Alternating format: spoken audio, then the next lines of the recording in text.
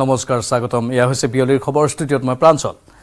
অসম বাজেটৰ খবৰ বিধানসভাত দুহেজাৰ চৌব্বিছ পঁচিছ বৰ্ষৰ বাজেট দাখিল বিত্তমন্ত্ৰী অজন্তা নেওগৰ আৰু বিত্তমন্ত্ৰী অজন্তা নেওগে বাজেট দাখিল কৰাৰ পাছত বাজেট সন্দৰ্ভত মন্তব্য আগবঢ়ালে বৰ্তমান মুখ্যমন্ত্ৰীয়ে কিছু প্ৰতিক্ৰিয়া প্ৰকাশ কৰি আছে শুনাব বিচাৰিছোঁ। উদাহৰণ সমাজৰ আগত দাঙি ধৰিছে। ভাৰতীয় জনতা পাৰ্টী প্ৰধানমন্ত্ৰী নৰেন্দ্ৰ মোদী ডাঙৰীয়াৰ নাৰী শক্তিৰ যি এক জাগৰণৰ প্ৰয়াস প্ৰধানমন্ত্ৰী মোদী ডাঙৰীয়াই কৰিছিল। তাত সৰুকৈ হ'লেও আমি এটা অৱদান আগবঢ়াবলৈ পাই আমিও গৌৰৱ অনুভৱ কৰিছোঁ। এই বছৰৰ বাজেট প্ৰাকলনত আপোনালোকে দেখা পাইছে যে অসমৰ মুঠ ঘৰুৱা উৎপাদন আগন্তুক বিত্তীয় বৰ্ষত ছয় লাখ তিৰাল্লিছ হাজাৰ কোটি টকা পাবগৈ। ই এটা অসমৰ বাবে অত্যন্ত সুখৰ খবৰ। প্ৰতি বছৰে পোন্ধৰ শতাংশ হাৰত আমাৰ ইকনমি বৃদ্ধি হৈছে আৰু এই বৃদ্ধিৰ হাৰ যদি আমি অক্ষুণ্ণ ৰাখিব পাৰোঁ অহা তিনি বছৰৰ ভিতৰত অসম দহ লাখ কোটি টকাৰ এটা অৰ্থনীতিত পৰি পৰিণত হ'ব। দেশৰ অৰ্থনীতিত অসমৰ অৱদান যোৱা বছৰ ওৱান পইণ্ট ছিক্স পাৰ্চেণ্ট আছিল এইবাৰ অসমৰ অৱদান ওৱান পইণ্ট এইট টু পাৰ্চেণ্টেজলৈকে বৃদ্ধি পাইছে। এই বাজেটত মূলধনী ব্যয় বা কেপিটেল ইনভেষ্টমেণ্ট প্ৰায় ত্ৰিছ হাজাৰ কোটি টকা স্পৰ্শ কৰিব এনে এনে এক ধাৰণা এই বাজেটৰ পৰা আমি সকলোৱে লাভ কৰিছোঁ।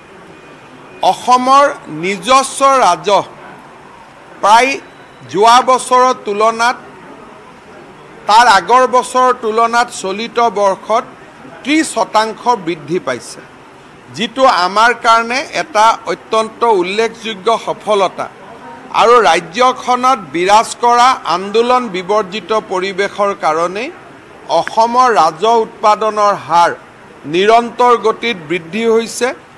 আনকি জি এছ টিও চৈধ্য শতাংশ গ্ৰ'থ আমি দেখা পাইছোঁ। যি আমাৰ কাৰণে অত্যন্ত সাফল্যৰ বতৰা বুলি মই ক'ব খোজোঁ।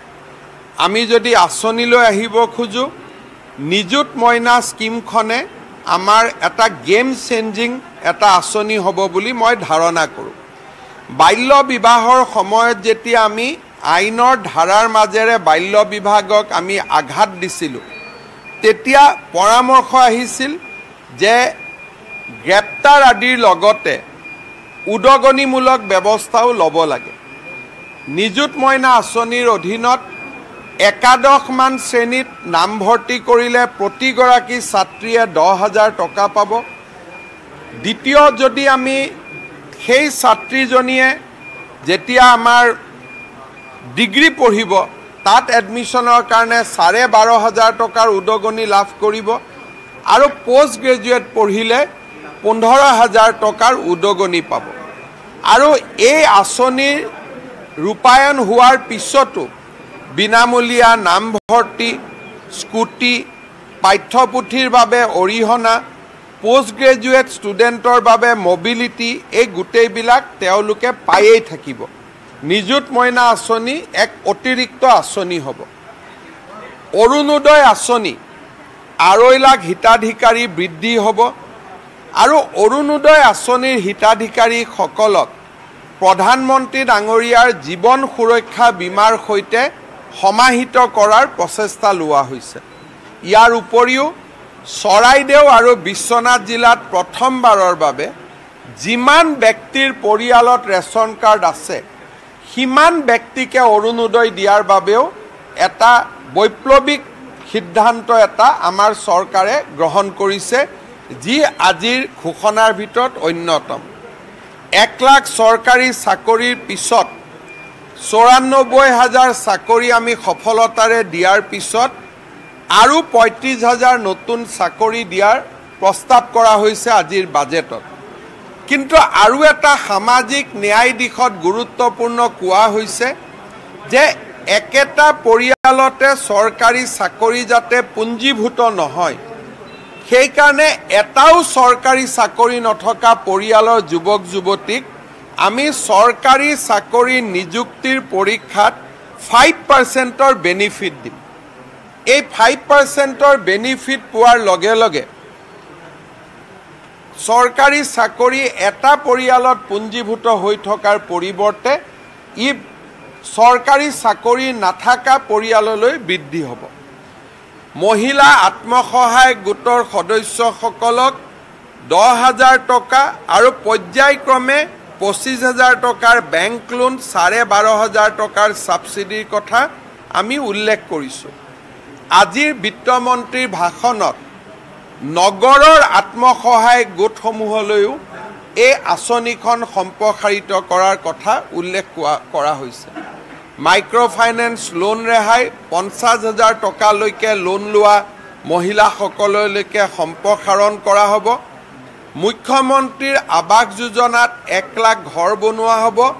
তাৰ তেৰ হাজাৰ চাহ শ্ৰমিকৰ বাবে সংৰক্ষিত হ'ব। মিছন বসুন্ধৰা তিনি আঁচনিৰ সময়ত চাহ বাগিচাৰ শ্ৰমিকসকলে যাতে তিনিটা প্ৰজন্মৰ চাৰ্টিফিকেট দিব নালাগে তেওঁলোকে সহজভাৱে যাতে ভূমিৰ অধিকাৰ লাভ কৰিব পাৰে তাৰ বিষয়েও এই বাজেটত কোৱা হৈছে। চাহ বাগিচাৰ শ্ৰমে শ্ৰমিকৰ বকেয়া বিদ্যুৎ বিল পৰিশোধ কথা কৰাৰ কথাও এই বাজেটত উল্লেখ কৰা হৈছে। লোকপ্ৰিয় গোপীনাথ বৰদলৈ ডাঙৰীয়া যেতিয়া অসমৰ মুখ্যমন্ত্ৰী আছিলে তেখেতে ট্ৰাইবেল বেল্ট এণ্ড ব্লক অসমত আৰম্ভ কৰিছিল। যাতে জনজাতীয় লোকৰ ভূমিৰ অধিকাৰ সংৰক্ষিত হৈ থাকিব পাৰে। পঁসত্তৰ বছৰ পিছত অসমে হেৰিটেজ বেল্ট এণ্ড ব্লক আৰম্ভ কৰিব খুজিছে। জনজাতীয় ট্ৰাইবেল বেল্ট এণ্ড ব্লকৰ জেগাত এতিয়া হেৰিটেজ বেল্ট এণ্ড ব্লক হ'ব। তাৰ ফলত নাৰায়ণপুৰ মহাপুৰুষ মাধৱদেৱৰ জন্মভূমি বটদ্ৰৱা মহাপুৰুষ শ্ৰীমন্ত শংকৰদেৱৰ জন্মভূমি বৰপেটা সত্ৰ আৰু তাৰ লগতে মাজুলীক আমি হেৰিটেজ বেল্ট এণ্ড ব্লকলৈকে ৰূপান্তৰ কৰিম য'ত স্থানীয় লোক স্থানীয় লোক বুলি কওঁতে স্থানীয় খিলঞ্জীয়া লোকক বাদ দি আন কোনেও ভূমি ক্ৰয় কৰাৰ তাত অধিকাৰ নাথাকিব। অসম আন্দোলনৰ যি অৱধাৰণা আছিল আৰু যাক লৈ মানুহে বহু সময়ত চিন্তা কৰিছিল যে আমাৰ খিলঞ্জীয়া স্বাৰ্থৰ সুৰক্ষাৰ বাবে আমি কৰা সংগ্ৰামখন বিফল হ'ল নেকি? তাক আমি পুনৰ উজ্জীৱিত কৰি বিভিন্ন কাম হাতত লৈছোঁ ডিলিমিটেশ্যন হৈ গ'ল। ডিলিমিটেশ্যনৰ পিছত আমি এতিয়া হেৰিটেজ বেল্ট এণ্ড ব্লকৰ যিটো ধাৰণা এই বাজেটত দিছোঁ মই ভাবোঁ ই বহুদিনলৈ অসমীয়া জাতিৰ ঐতিহ্যমণ্ডিত সত্ৰ সংস্কৃতিসমূহ উদ্ধাৰ কৰাৰ ক্ষেত্ৰত সহায় কৰিব আৰু ভৱিষ্যতলৈ আমি হেৰিটেজ বেল্ট এণ্ড ব্লক আমি বৃদ্ধি কৰিবও পাৰিম। এনেকুৱা এটা ধাৰণাও আমি এই বাজেটত উল্লেখ কৰিছোঁ। পুলিচৰ হাউচিং নিবনুৱা যুৱক যুৱতীলৈ দুই লাখ টকা মুখ্যমন্ত্ৰীৰ আত্মনিৰ্ভৰশীল অসম আঁচনিৰ অধীনত ঋণ আৰু ৰাজ সাহাৰ্য এই ধৰণে আমি নতুন নতুন চিন্তা এই বাজেটত সংযোজিত কৰিছোঁ। এই বাজেটত আন এটা উল্লেখনীয় দিশ হ'ল বানপানী।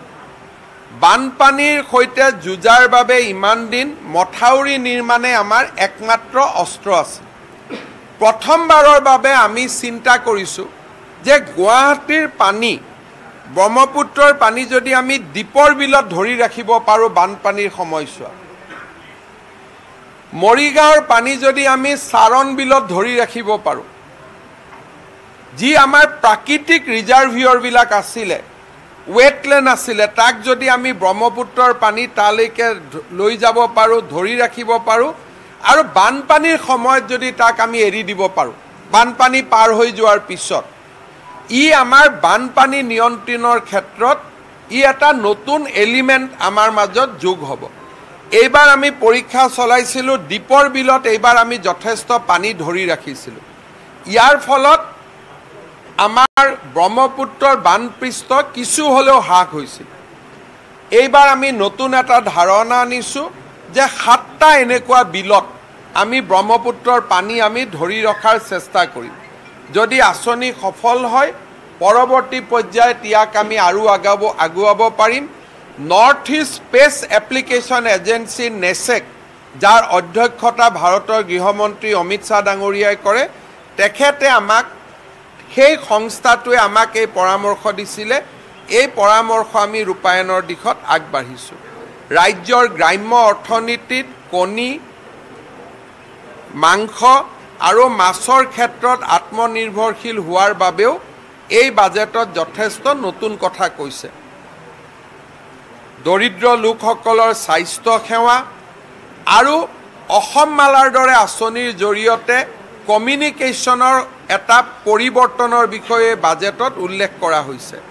আপোনালোকে জানি ভাল পাব যে লোক নিৰ্মাণ বিভাগৰ ৰোড এছেট বৰ্তমান পঞ্চাছ হাজাৰ কিলোমিটাৰলৈকে বৃদ্ধি হৈছে আৰু অসমত যোৱা দুটা বছৰত আমি প্ৰতিদিনে বাৰ কিলোমিটাৰ নতুন ৰাস্তা আমি নিৰ্মাণ কৰিছোঁ। তাক আমি আৰু আগুৱাই লৈ যাব পাৰোঁ।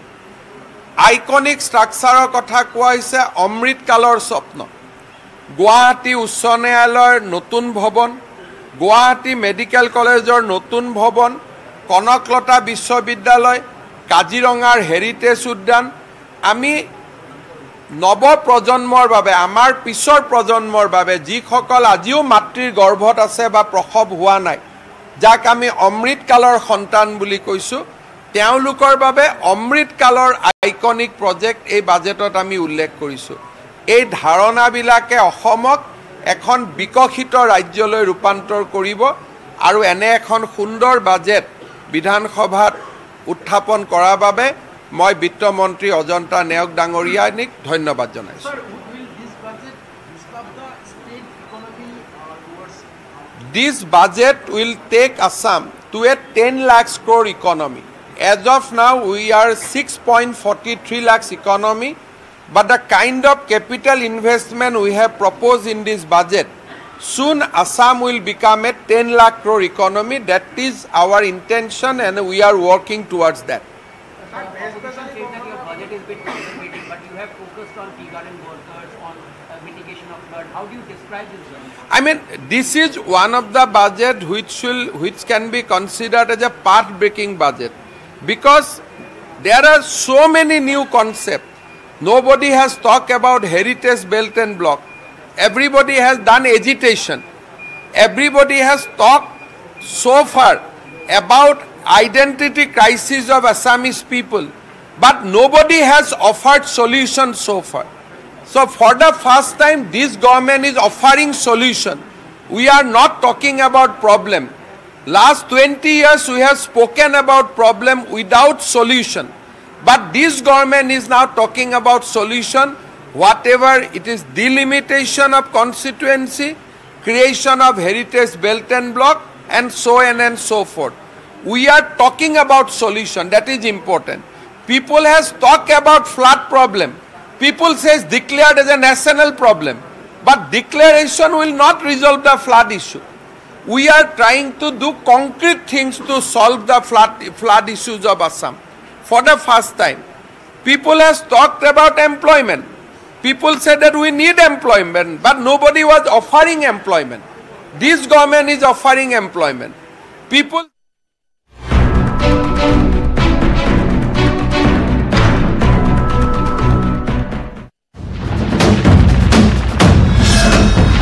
ভাৰতৰ গৌৰৱ গোটেই বিশ্বতেই ইয়াৰ সন্মান।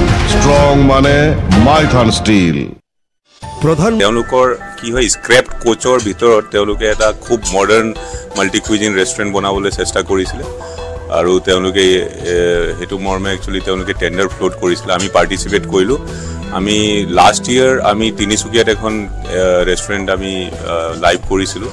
আৰু এইটো বছৰ আমি গুৱাহাটীত যোৱা এবছ এমাহ আগত আমি এইটো লাইভ কৰিছোঁ আৰু খুব ভাল আমি ফিডবেক পাইছোঁ মানুহৰ পৰা খুব ভাল সঁহাৰি পাইছোঁ।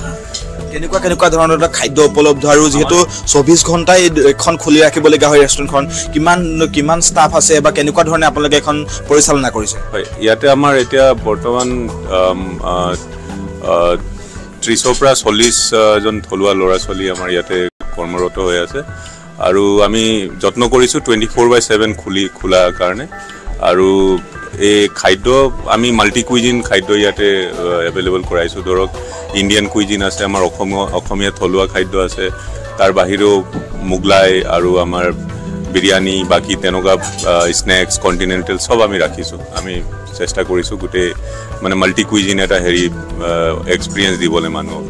বাহিৰৰ পৰা যিসকল পৰ্যটক আহে বহিৰাগত পৰ্যটকসকলে যাতে কোনো অসুবিধা নাপায় তেওঁলোকৰ কাৰণে সকলো খাদ্যৰ আপোনালোকে ব্যৱস্থা। হয় চব সকলো খাদ্য ইয়াতে পায় আৰু আমি দেখিছোঁ খুব ভাল ফিডবেক পাইছোঁ। আমি ইয়াতে ফিডবেক কালেকশ্যন ছিষ্টেমো ৰাখিছোঁ। আমি মডাৰ্ণ টেকন'লজি এনেকুৱাকৈ আমি এনেকুৱাকৈ স্কেনাৰ অপশ্যন দিওঁ তেওঁলোকক কাষ্টমাৰক যদি কাষ্টমাৰে কিবা লাইক নকৰে কিবা খায় তেওঁলোকে ইয়াতে স্কেন কৰি তেওঁলোকে ইয়াৰে ৰিভিউ দিব পাৰে একচুৱেলি যে তেওঁলোকে এইটো লাইক কৰা নাই বা এইটো লাইক কৰিছে আৰু আমি একৰ্ডিংলি কি কৰোঁ আমি তেওঁলোকক এইটো তেওঁলোকে যেতিয়া স্কেন কৰে আমাৰ আমালৈ তেওঁলোকৰ কণ্টেক্ট নম্বৰ আহে আমি তেওঁলোকক ফোন কৰি আমি তেওঁলোকৰ ফিডবেক লওঁ যে কি ভাল পাইছে কি ভাল পোৱা নাই আৰু এতিয়ালৈকে আমি জনাই জনাব পাই খুব সুখী হৈছোঁ খুব ভাল ফিডবেক পাইছোঁ আমি। যিহেতু দিনে ৰাতি যিহেতু খোলা থাকে কেনেকুৱা ধৰণৰ মানে যিসকল খাদ্য খাবলৈ লোকসকল আহে তেওঁলোকে কেনেকুৱা ধৰণৰ খাদ্য বিশেষকৈ পচন্দ কৰে বা কি খাদ্য ইয়াত আটাইতকৈ বেছি চেল হয় আপোনাৰ পৰা? এতিয়া এতিয়া যদি দেখোঁ আমি খুব বেছিকৈ চাইনিজ খাব খায় একচুৱেলি আমি লাষ্ট যদি দুমাহৰ ডেটা আমি চাওঁ একৰ্ডিংলি চাইনিজ কুইজিন খুব বেছিকৈ চলিছে একচুৱেলি ইয়াতে। ধন্যবাদ জ্ঞাপন কৰিছোঁ আৰু যিসকল ইয়াত খাবলৈ লোক আহিছে বা যিসকলে এই ৰেষ্টুৰেণ্টখনত বৰ্তমান আছে আমি তেওঁলোকৰ সৈতে কথা পাতিম। আমি দেখুৱাম পৰিৱেশ অতি সুন্দৰকৈ তেওঁলোকে দবাটো তেওঁলোকে সজাই পৰাই তুলিছে আৰু এটা সম্পূৰ্ণ ৰেলৰ প্ৰকৃত ৰেলৰ দবা আৰু তেওঁলোকে যি এন এফ ৰেলৱে সহযোগত তেওঁলোকে এনেদৰে কৰিছে যি বেয়া হৈ যোৱা দবা তেওঁলোকে আনি অতি সুন্দৰকৈ এনেদৰে অসমৰ এটা ঠাঁচ দিবৰ বাবে তেওঁলোকে অতি সুন্দৰকৈ যি পাতি আছে পাতিসমূহ বেৰত ছাইডত লগাই পেলাই তেওঁলোকে অতি সুন্দৰকৈ তেওঁলোকে ব্যৱস্থা কৰি তুলিছে আৰু এখন প্ৰকৃত ৰেলৰ ভিতৰত খোৱাৰ দৰে তেওঁলোকে এটা বিশেষ অনুভৱ দিবলৈ যত্ন কৰিছে যিসকল ইয়াত খাবলৈ লোকসকলে আহে ৰেষ্টুৰেণ্টলৈ লোকসকলে আহে আমি ৰেষ্টুৰেণ্টত থকা লোকসকলৰ সৈতে কথা পাতিবলৈ যত্ন কৰিম। এক্সকিউজ মি আপোনাৰ যদি কেনেকুৱা এই অনুভৱ কেনেকুৱা যে এটা ৰেলৰ ডবাৰ ভিতৰত এনেদৰে এখন ৰেষ্টুৰেণ্ট কি ক'ব বিচাৰে?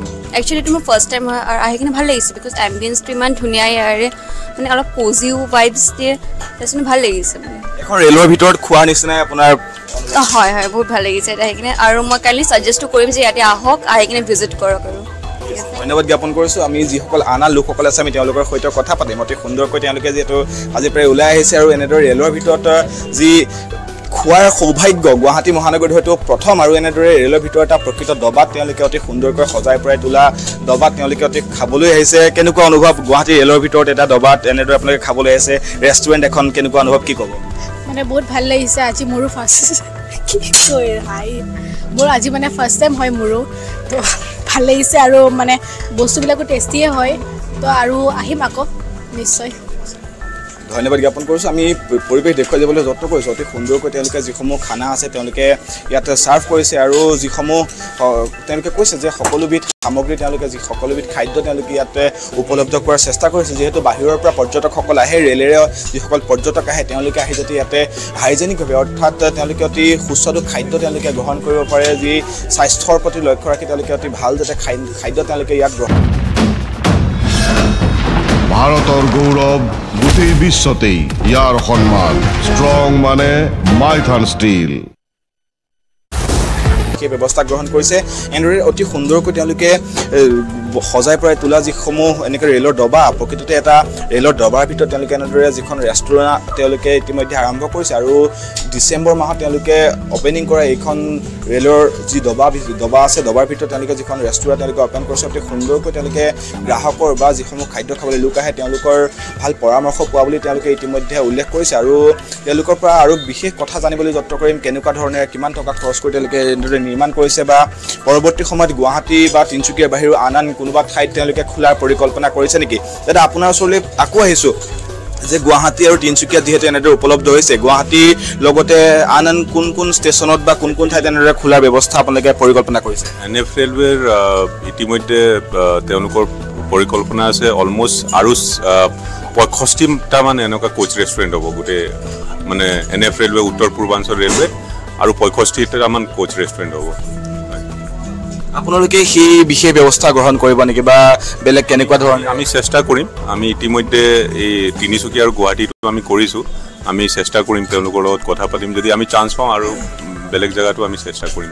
ষ্টাৰ্ট ধন্যবাদ জ্ঞাপন কৰিছোঁ। এয়া আছিল এটা ৰেলৰ ভিতৰত থকা এখন বিশেষ ৰেষ্টুৰেণ্ট আৰু শিৱসাগৰ যিহেতু উইংছ অফ হাজৰিকা আৰম্ভ হ'ব তাৰ সমান্তৰালকৈ গুৱাহাটী মহানগৰীৰ এই যি পল্টন বজাৰ ষ্টেচন আছে পল্টন বজাৰ ষ্টেচনত তেওঁলোকে অতি সুন্দৰকৈ এটা দবাৰ ভিতৰত তেওঁলোকে এনেদৰে ৰেষ্টুৰেণ্ট গঢ়ি তুলিছে আৰু যিসকল খাবলৈ লোক আহিছে বা যিসকল গ্ৰাহক আছে তেওঁলোকে অতি ভাল ৰিভিউ দিয়া বুলি ইতিমধ্যে তেওঁলোকে উল্লেখ কৰিছে। আপোনালোকক ইয়ালৈ আহিবলৈ অনুৰোধ কৰা কৰিলোঁ যাতে গুৱাহাটী মহানগৰী এনেদৰে এখন ৰেলৰ দবাৰ ভিতৰত আপোনালোকে সুস্বাদু আহাৰৰ গ্ৰহণ কৰিব পাৰে। লগতে এটা বিশেষ পৰিৱেশ ইয়াত গঢ়ি তোলা হৈছে এখন ৰেলৰ নিচিনাকৈ তেওঁলোকে পৰিৱেশ দিবলৈ চেষ্টা কৰিছে।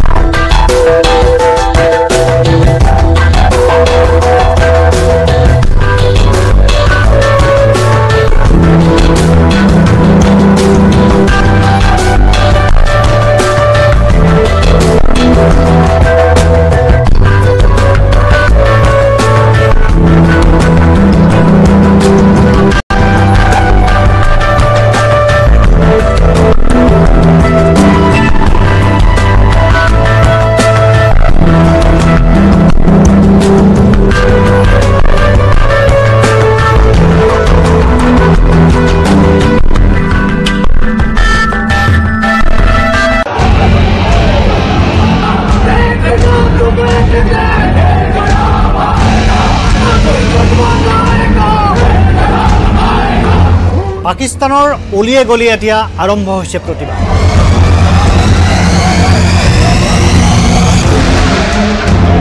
পাকিস্তানৰ নিৰ্বাচনক কেন্দ্ৰ কৰি পি টি আইৰ নেতা কৰ্মীয়ে দেশখনত প্ৰতিবাদ সাব্যস্ত কৰিছে।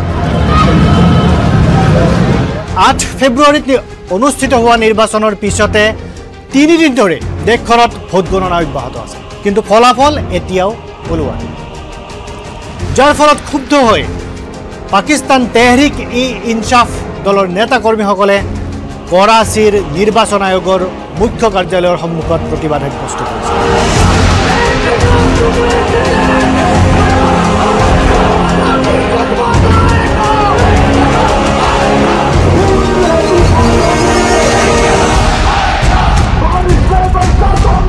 পাকিস্তান তেহৰিক ই ইনচাফ নামৰ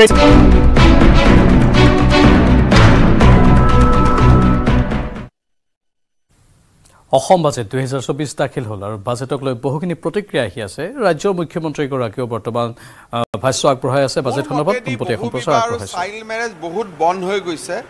যোৱা তিনিদিনত জুডিচিয়াৰীয়ে বিছ বিছ বছৰৰ তিনিটা সশ্ৰম কাৰাদণ্ডৰ অৰ্ডাৰ দিছে ফৰ চাইল্ড মেৰেজ আপোনালোকে খবৰ কৰিব চিৰাঙত দিছে তিনিটা জেগাত তিনিটা জাজমেণ্ট আহিছে। বিছ বছৰৰ সশ্ৰম কাৰাদণ্ড বাল্য বিবাহৰ কাৰণে। যিহেতু আমি পস্কো এক ইনভে ইনভোক কৰিছোঁ। চ' অসমত বহুত পৰিৱৰ্তন হৈ আছে। আৰু আমি লাহে লাহে যেতিয়া নিজে গাঁৱত যাম আমি দেখা পাম এতিয়া আপোনালোকে চৰত যাওক বা মুছলিম গাঁৱত যাওক সুধিব বাচ্ছা কিমান চনত বিয়া কৰাব? ওঠৰ। বোলে বাৰত নকৰে বোলে এইটো আইনে নকয়। তেওঁলোকে নিজে মুখহে উল্টাই কয় যে আইনে নকয় সৰু ল'ৰা ছোৱালীক বিয়া দিয়া। এতিয়ালৈকে অলপ মেছেজটো ডিপ ভিতৰত বহুত যোৱা নাই। একেবাৰে বহুত ভিতৰৰ গাঁৱত কিন্তু মোটামুটি ছেভেণ্টি পাৰ্চেণ্ট মুছলিম এৰিয়াত বাল্য বিবাহ বন্ধ হৈ গৈছে। চলিব চলিব। অলপ একেলগে কামত কিমান কৰিব চৌব্বিছ ঘণ্টা নুখুলেও নহয়গৈ নে? বাজেট দাখিলৰ পাছতে মুখ্যমন্ত্ৰীৰ প্ৰতিক্ৰিয়া আপোনালোকে শুনিলে। এই মুহূৰ্তত মহানগৰ আৰক্ষী আয়ুক্তই সংবাদমেল সম্বোধন কৰিছে। মহানগৰীত সংঘটিত ভিন্ন ঘটনাক লৈ সংবাদমেল আমি পোনপটীয়া এখন প্ৰচাৰ আগবঢ়াইছোঁ। তেওঁ এখন সৰু চাহৰ দোকান চলাই খানাপাৰা ফ্লাইঅভাৰৰ ওচৰত। তেওঁৰ ওঠৰ বছৰীয়া এগৰাকী জীয়ৰী আছিলে। সেইখন চাহ দোকানতে অশোক দাস তেওঁৰ পৰিবাৰ দুয়োজনেই কাম কৰে আৰু কাম কৰাৰ লগতে তেওঁলোকৰ লগত তেওঁলোকৰ ওঠৰ বছৰীয়া ছোৱালীজনীও থাকে। যোৱাকালি থানাত আহি জনালেহি যে চাৰে বাৰটামান বজাত কোনোবা এজন অচিনাক্ত লোকে তেওঁলোকৰ সেই জীয়ৰী ওঠৰ ওঠৰমহীয়া যি জীয়ৰী সেই জীয়ৰীক অপহৰণ কৰি লৈ গ'ল। আৰু সেই মানুহজন কোন বিশেষভাৱে তেওঁলোকে নাজানে যদিও যোৱা কেইদিনমানৰ পৰা সেই মানুহজনে তেওঁলোকৰ দোকানলৈ আহি চাহ খায় আৰু চাহ খাওঁতেই বিভিন্ন কথা বতৰা পাতে আৰু ভাড়াঘৰৰ খবৰ লয় ওচৰে পাজৰে ভাড়াঘৰ পায় নেকি। আৰু তেনেকেই খবৰ লওঁতে দুয়োজনৰে মাজত ফোন নাম্বাৰৰো আদান প্ৰদান হৈছে। তাতকৈ বিশেষ একো এই ব্যক্তিজন যিজন ব্যক্তিয়ে তেওঁৰ জীয়ৰীক অপহৰণ কৰিছে বুলি সন্দেহ কৰিছে সেই ব্যক্তিজনৰ বিষয়ে তাতকৈ বেছি অভিযোগকাৰীয়ে নাজানে। এই ঘটনাটো যেতিয়া আমাৰ দিছপুৰ থানাত আহি জনালেহি লগে লগেই খুব তৎপৰতাৰে আমাৰ ইষ্ট পুলিচ ডিষ্ট্ৰিক্টৰ টীম এক্টিভেট কৰা হ'ল। কাৰণ যিহেতু শিশু অপহৰণ কৰা হৈছে আৰু মিডিয়াৰ যোগেদিও আমি খবৰটো পাইছোঁ। গতিকে লগে লগে আমাৰ গুৱাহাটী পুলিচৰ ইষ্ট পুলিচ ডিষ্ট্ৰিক্টৰ টীম এক্টিভেট হ'ল আৰু এই অপহৰণ কৰা বুলি সন্দেহ কৰা শিশুটিক উদ্ধাৰ কাৰ্যত তেওঁলোক জড়িত হ'ল। যদিও আমি বিশেষভাৱে নাজানিছিলোঁ ব্যক্তিগৰাকী কোন কিন্তু অভিযোগকাৰী অশোক দাসে যিখিনি তথ্য আমাক দিছিলে সেই তথ্যখিনিৰ ভিত্তিত আমাৰ অনুসন্ধান আৰম্ভ কৰিলোঁ। আমাৰ টেকনিকেল এনালাইচিছ আৰম্ভ হ'ল। আপোনালোকে জানে যে গুৱাহাটীত চহৰত চি চি টিভিও সংস্থাপন কৰা হৈছে। সেই চি চি টিভিৰো সহায় লোৱা হ'ল আৰু আমাৰ হিউমেন ইণ্টেলিজেঞ্চৰো সহায় লোৱা হ'ল। শেষত গৈ দেখা গ'ল যে এজন ব্যক্তিয়ে স্কুটি এখনত এই শিশুটি লৈ ফটাশিল আমবাৰীৰ ফাললৈ গৈছে। আৰু শেষত আমাৰ পুলিচৰ টীম ফটাশিল আমবাৰীত গৈ উপস্থিত হ'ল তাত তদন্ত অব্যাহত ৰাখিলে। যিখিনি তথ্য আমি সেইখিনি সময়লৈকে সংগ্ৰহ কৰিছিলোঁ সেই তথ্যৰ ভিত্তিত আমি দুজন ছাছপেক্ট যাক সন্দেহ কৰিছিলোঁ সেই দুজন ব্যক্তিক প্ৰথমে আটক কৰোঁ। তাৰে এজন ব্যক্তিৰ নাম হ'ল বিশ্বজিৎ দাস ওৰফে সমীৰ দে তেওঁৰ ঘৰ অৰিজিনেলি নগাঁও বটদ্ৰৱাত। তাৰপিছত তেওঁলোকে শ্বিফ্ট কৰিছে লামডিঙলৈ। আৰু দুই হেজাৰ বাইছৰ আৰম্ভণিৰ পৰা তেওঁ গুৱাহাটীৰ বাসিন্দা হৈছে ইয়াত ফটাশিল আমবাৰীত ভাড়াঘৰত থাকে। আৰু দ্বিতীয়গৰাকী যি আমাৰ সন্দেহযুক্ত ব্যক্তি তেওঁক আটক কৰিছিলোঁ তেওঁ হ'ল এই অভিযুক্ত বিশ্বজিৎ দাসৰ পৰিবাৰ সবিতা দে। দুয়োগৰাকীক যেতিয়া পুলিচ টীমে আটক কৰিলে স্পট ইণ্টাৰগেশ্যন কৰিলে তেওঁলোকে তেওঁলোকৰ এই যিটো অপৰাধ সংঘটিত হৈছে এই অপৰাধ সংঘটিত হোৱাৰ লগত জড়িত থকাৰ কথা স্বীকাৰ কৰে। আৰু তেওঁলোকৰ তথ্যৰ ভিত্তিত আমাৰ পুলিচ টীম গ'ল ফটাশিল আমবাৰীৰ লাল গণেশৰ এটা ঘৰত। যিটো ঘৰ আছিলে জেলিমন বেগম বুলি এগৰাকী মহিলাৰ। সেই ঘৰটো ৰেইড কৰাৰ পিছত তাতে আমি এই অপহৃত শিশুটি পাওঁ আৰু তাৰ পৰা আমি শিশুটি উদ্ধাৰ কৰিবলৈ সক্ষম হওঁ। ইতিমধ্যেই পুলিচে কেছ ৰেজিষ্টাৰ কৰিছে দিছপুৰ থানাত। দিছপুৰ থানাৰ কেছ নাম্বাৰটো হ'ল এশ ওঠৰ আৰু আমি three sixty five Indian penal কোডৰ এইটো ধাৰাত কেছটো ৰেজিষ্টাৰ কৰি তদন্ত অব্যাহত ৰাখিছিলোঁ। এই তদন্তত শিশুটি যাক অপহৰণ কৰা হৈছিলে সেই শিশুটি উদ্ধাৰ কৰিবলৈ আমি সক্ষম হওঁ। ওঠৰমহীয়া শিশু আহ, কন্যা শিশু আৰু তিনিগৰাকী ব্যক্তিক আমি বৰ্তমানলৈকে গ্ৰেপ্তাৰ কৰিছোঁ তদন্তৰ খাতিৰত। তাৰে প্ৰথমজন হ'ল বিশ্বজিৎ দে বিশ্বজিৎ দাস ওৰফে সমীৰ দে তেওঁৰ পৰিবাৰ সবিতা দে আৰু জেলিমন বেগম। এতিয়া এই গোটেই ঘটনাটোৰ তদন্তত দেখা গ'ল যে কেইদিনমানৰ পৰা বিশ্বজিৎ দাস ওৰফে সমীৰ দে তেওঁ এই খানাপাৰাৰ যি চাহ দোকান দিয়া অশোক দাস আৰু তেওঁৰ পৰিবাৰ তেওঁলোকৰ লগত বন্ধুত্ব স্থাপনৰ চেষ্টা কৰে। আৰু চাহ খাব যায় দিনত দুবাৰ বা তিনিবাৰকৈ। আৰু বিভিন্ন কথা বতৰা পাতি বন্ধুত্ব স্থাপনৰ চেষ্টা কৰে। এই বিশ্বজিতৰ পৰিবাৰ হ'ল সবিতা দে। তেওঁলোক ফটাশিল আমবাৰীৰ ভাড়াঘৰত থাকে। বিশ্বজিতে মোবাইলৰ মেকানিকৰ এটা দোকান খুলিছিলে দুহেজাৰ বাইছত আহি লাখ টকীয়া। কিন্তু দোকানখনত বিশেষ লাভ নোহোৱাত দোকান বন্ধ হৈ যায় আৰু তাৰপিছত তেওঁ বিভিন্ন দোকানত গৈ যেতিয়াই যি অৰ্ডাৰ পায় তাত মোবাইল মোবাইল মেকানিকৰ কাম কৰে। বিভিন্নজনৰ পৰা বহুতো তেওঁ ধাৰলৈ টকা লৈছে যি ঘূৰাই দিব পৰা নাই। গতিকে ধাৰত পোত গৈ আছে বিশ্বজিৎ দাস। তেওঁলোকৰ বিশ্বজিৎ দাস আৰু সবিতা দাসৰ চিনাকি হয় এই জেলিমন বেগম নামৰ মহিলাগৰাকী যি ফটাশিল আম্বাৰীতে থাকে। জেলিমন বেগনৰ বেগমৰ যেতিয়া আমি বেকগ্ৰাউণ্ড চালোঁ তেতিয়া দেখা গ'ল যে ইয়াতে গুৱাহাটীত Indira I V F clinic বুলি এখন ক্লিনিক আছে য'ত ফাৰ্টিলিটি ট্ৰিটমেণ্ট হয়। সেই ক্লিনিকখনত জেলিমন বেগমে এক ডনৰ হিচাপে কাম কৰিছিলে। তেনেকৈ এক ডনৰ হিচাপে কাম কৰোঁতেই এজন ব্যক্তিৰ সংস্পৰ্শলৈ আহে যাৰ নাম আমি জানো কিন্তু তদন্তৰ খাতিৰত আমি এতিয়াই সেই নাম ডিছক্ল'জ কৰা নাই। সেই ব্যক্তিজনে জেলিমন বেগমক ক'লে যে চাৰগেট মাদাৰ হ'বলৈ তেওঁ ৰাজি হ'ব নেকি? জেলিমন বেগম ৰাজি হ'ল চাৰগেট মাদাৰ হ'বলৈ আৰু এই ব্যক্তিজনে জেলিমন বেগমক ইয়াৰ পৰা হায়দৰাবাদলৈ পঠায় আজি দুবছৰৰ আগতে। হায়দৰাবাদত গৈ তাতো এজন এজেণ্টক লগ পায় যি অৰিজিনেলি অসমৰে। সেইজন ব্যক্তিয়ে জেলিমন বেগমক চাৰগেচি ট্ৰিটমেণ্ট যি ক্লিনিকত হয় তেনেকুৱা ক্লিনিকৰ লগত চিনাকি কৰাই দিয়ে আৰু চাৰগেট মাদাৰ হ'বলৈ তেওঁক ইনভলভ কৰায়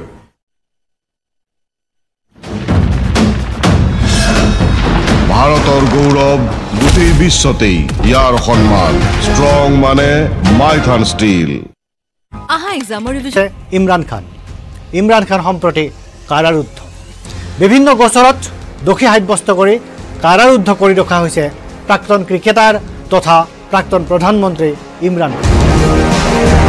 পাকিস্তান তেহৰিক ই ইনচাফ দলটোৰ নেতা কৰ্মীয়ে যি প্ৰতিবাদ সাব্যস্ত কৰিছে সেই প্ৰতিবাদী লোকসকলক আঁতৰাই পঠোৱাৰ বাবে দেশখনৰ অৰ্থাৎ পাকিস্তানৰ নিৰাপত্তাৰক্ষীয়ে গুলী চালনা পৰ্যন্ত কৰিবলগা হৈছে। আৰু এই গুলী চালনাত ইতিমধ্যে এগৰাকী মহিলা আহত হোৱা বুলি দেশখনৰ পৰা খবৰ।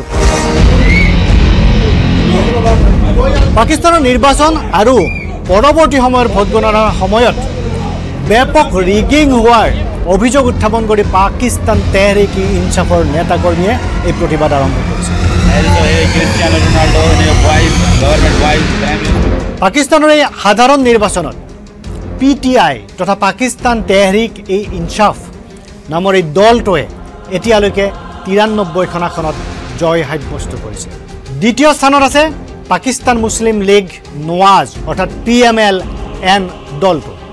নৱাজ শ্বৰীফ নেতৃত্বাধীন এই দলটোৱে এই পৰ্যন্ত লাভ কৰিছে ছেভেণ্টি এইট অৰ্থাৎ আঠসত্তৰখন আসন।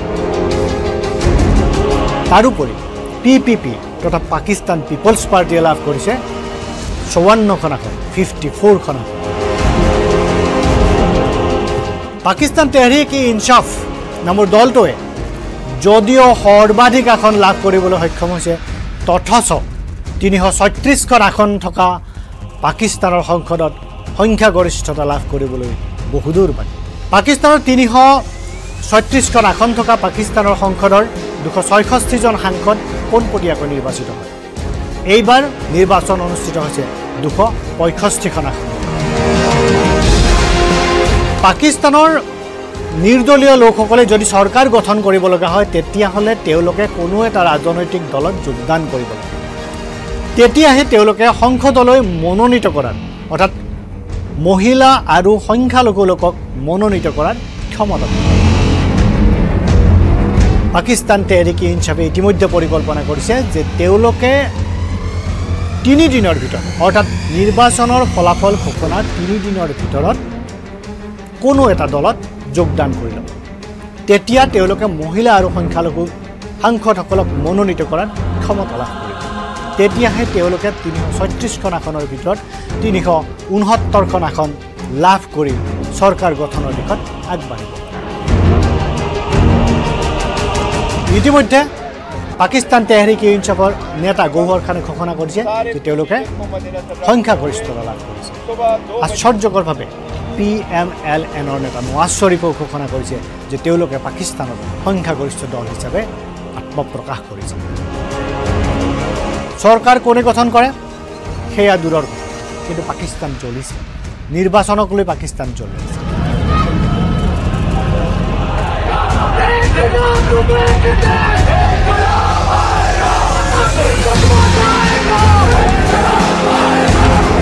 নিৰ্বাচনত ভোটদান কৰাৰ পিছতো আশানুৰূপ ফলাফল লাভ নকৰাত ক্ষুব্ধ হৈ আছে পাকিস্তানী জনতা। লাহে লাহে প্ৰতিবাদ আৰম্ভ হৈছে। এই প্ৰতিবাদে দেশখনক কলৈ লৈ যায় সেয়া নিশ্চয় সময়।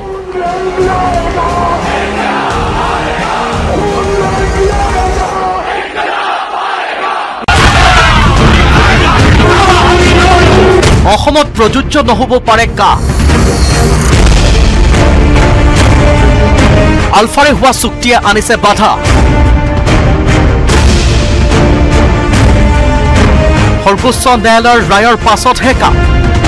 লগত কণ্টেক্ট কৰে আৰু তেওঁলোকৰ প্লেন আছিলে যে হায়দৰাবাদৰ এজেণ্টে যেতিয়া গ্ৰীণ ছিগনেল দিব তেতিয়া এই কন্যা শিশুটি ৰেলেৰে ইয়াৰ পৰা লৈ যাব সেই হায়দৰাবাদৰ এজেঞ্চিটোলৈ।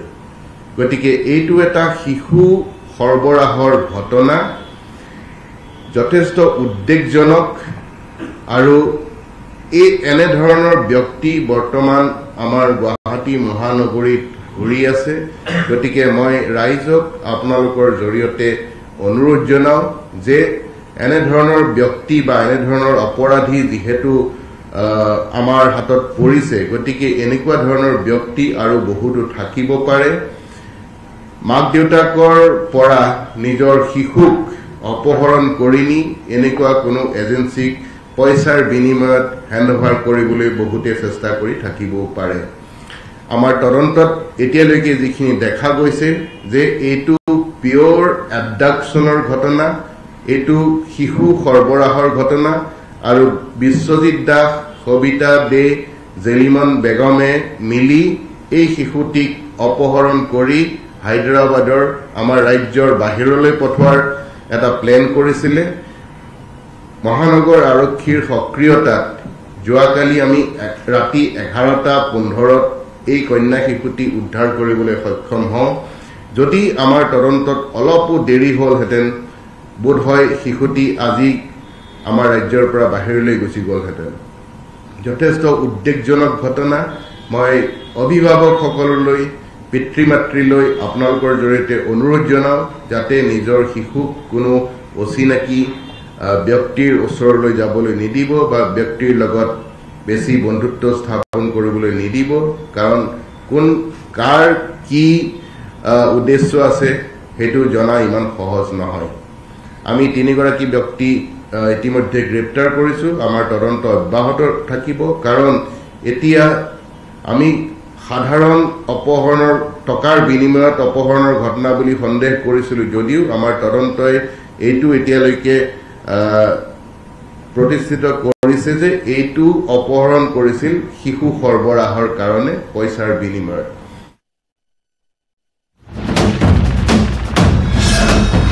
ভাৰতৰ গৌৰৱ গোটেই বিশ্বতেই ইয়াৰ সন্মান। ষ্ট্ৰং মানে মাইথান ষ্টীল নিৰ্বাচনৰ পূৰ্বে দেশত কা বলবৎ কৰা হ'ব বুলি ঘোষণা কৰিছে কেন্দ্ৰীয় গৃহমন্ত্ৰী অমিত শ্বাহে।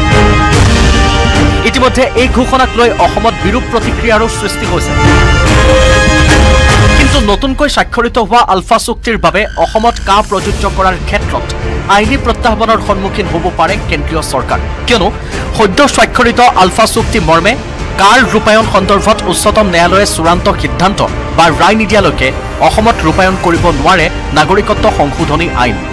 উল্লেখযোগ্য যে কাৰ বিৰুদ্ধে উচ্চতম ন্যায়ালয়ত ৰুজু কৰিছে অসমৰ বহু ব্যক্তি দল সংগঠনে গোচৰ। আছুৱেও অসম চুক্তি ভংগ কৰি অসমত কা বলবৎ কৰাটো সংবিধান বিৰুদ্ধে হ'ব বুলি উচ্চতম ন্যায়ালয়ত আবেদন দাখিল কৰিছে। ইয়াৰ উপৰিও বিশিষ্ট বুদ্ধিজীৱী ডক্টৰ হীৰেণ গোহাঁইকে ধৰি কেইবাগৰাকীও সচেতন নাগৰিকেও কাৰ বিৰুদ্ধে উচ্চতম ন্যায়ালয়ৰ কাষ চাপিছে।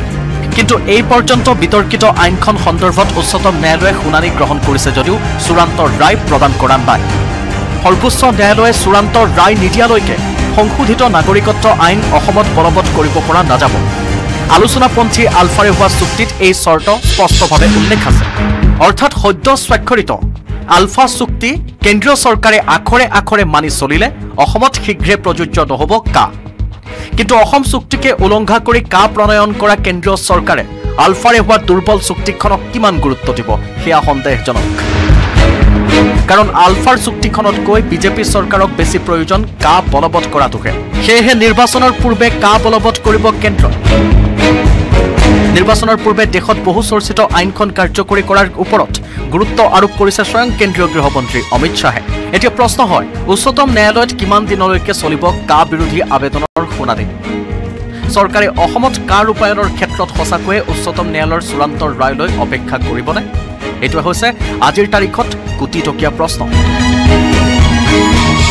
News desk news eighteen Assam north east.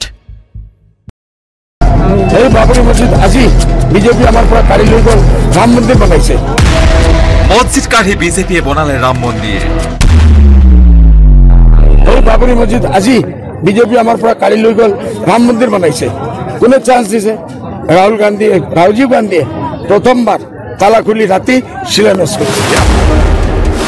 হাস্পতালত মৃত্যু ঘটা নব্বৈ শতাংশ লোকেই পাপী কংগ্ৰেছী। কেৱল মা কেঞ্চাৰে মৰিব কেৱল বেটা কেঞ্চাৰে মৰিব কেৱল হাৰ্ট এটেক হৈ মৰিব। ধরুন আরও কোন কোন বেমারি হয়েছে মরতেছেন না মরতেছেন? এরা লাইন দেখো হসপিটালে একশোর মাঝে একান্ন জন যদি থাকে কংগ্রেসই পাপিও করবে ধৰ্ম আৰু সম্প্ৰদায়ক লৈ জনসভাত উচতনি দি আজমলে উগাৰিছে সাম্প্ৰদায়িকতাৰ বিষবাস্প সবচে ডাঙৰ BJP Rajiv Gandhi Narasimha Rao second BJP. মানে তেখেত বহি চামাচা টেলিভিশ্যন দেখিছে আৰু বাবৰি মছজিদ ভাঙা হৈছে তেখেত প্ৰাইম মিনিষ্টাৰ থাকে এটা অৰ্ডাৰ দিয়া নাই আৰ্মি দিয়া নাই কোনো প্ৰটেকশ্যন বাবৰি মছজিদক দিয়া নাই। সেইকাৰণে মই কৈছোঁ মোৰ দুখে মই কৈ আছোঁ বোলে ৰাহুল গান্ধী ৰাজীৱ গান্ধী আৰু নৰসিম্হা ৰাও ইসকল বিজেপিৰ এ টিম আছে। আজমলৰ সাম্প্ৰদায়িক নিৰ্বাচনী প্ৰচাৰ অব্যাহত থকাৰ মাজতেই দেওবাৰে মুখ্যমন্ত্ৰী হিমন্ত বিশ্ব শৰ্মাই আজমলৰ বিৰুদ্ধে কৰিলে কটু সমালোচনা। নাৰীক সন্মান কৰিব নজনা নাৰীক ভোগ্য পণ্য সামগ্ৰী হিচাপে বিবেচনা কৰা আজমলক শংকৰ সংঘৰ দৰে পবিত্ৰ অনুষ্ঠানৰ পৰা আঁতৰ কৰি ৰাখিবলৈ মুখ্যমন্ত্ৰীয়ে জনালে আহ্বান। এতিয়া মই এটা মনৰ কথা কম বাপ বান্ধৱসকলে মোক বেয়া পাব নালাগে। মই যেতিয়াৰ পৰা মুখ্যমন্ত্ৰী হৈছো শিক্ষামন্ত্ৰী হৈছো অসম চৰকাৰৰ পৰা শ্ৰীমন্ত শংকৰদেৱ সংঘলৈ আমি যিমান পাৰোঁ সহায় আৰু সহযোগিতা আগবঢ়াইছো। কেতিয়াবা চৰকাৰী নিয়ম ভংগ কৰিও এই জাতীয় অনুষ্ঠানটো গঢ়ি তোলাৰ বাবে আমি আমাৰ অৱদান আগবঢ়াইছো। দিছপুৰ নিশান্ত সৌৰভ তেওঁ আৰু তেওঁৰ টীমে under overall guidance of the D C P east Akshat Garg and A D C P east Maitree Deka তেওঁলোকে খুব ক্ষিপ্ৰতাৰে এই গোটেই অপৰাধটো পোহৰলৈ আনিবলৈ সক্ষম হয় আৰু অপহৃত যি কন্যা শিশু ওঠৰ মাহ বয়সৰ তেওঁক উদ্ধাৰ কৰিবলৈ সক্ষম হয়। ধন্যবাদ।